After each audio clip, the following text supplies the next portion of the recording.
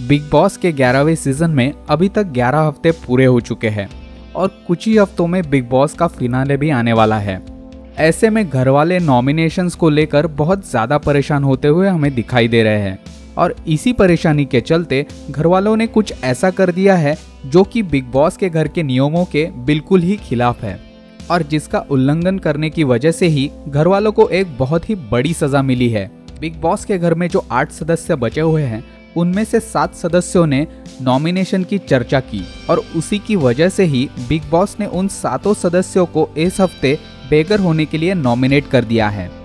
घर का एक सदस्य छोड़कर बाकी सारे घर वाले इस हफ़्ते हो चुके हैं नॉमिनेट क्योंकि उन सबने बिग बॉस के घर का एक बहुत ही अहम नियम, जो कि नॉमिनेशन की चर्चा ना करना, इसका उल्लंघन किया है। और उसी की वजह से बिग बॉस ने खुद उन सबको सजा की तौर पर नॉमिनेट किया है।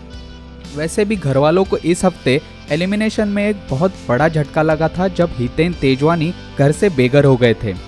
हितेन तेजवानी घर के बहुत ही सुलझे हुए, शांत और स्ट्रॉन्ग कंटेस्टेंट है और उसी के कारण उनको घर वालों ने बाहर जाने के लिए चूज़ किया और उनको एलिमिनेट भी कर दिया।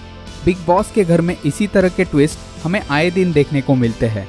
और ऐसा ही एक ट्विस्ट हमें आज देखने को मिलने वाला है, जहाँ पर घर के सात सदस्यों को बिग बॉस ने खुद नॉमिनेट कर दिया है। उसी की वजह से सारे घर वालों की प्लानिंग और प्लॉटिंग बेकार हो गई है। अभी देखना ये होगा कि इस हफ़्ते इन सात सदस्यों में से कौन एक एलिमिनेट हो जाएगा। आप सबकी इसके ऊपर क्या राय है कि बिग बॉस ने घर वालों को नॉमिनेशन की चर्चा करने की वजह से जो खुद से नॉमिनेट किया है वो सही है या फिर गलत।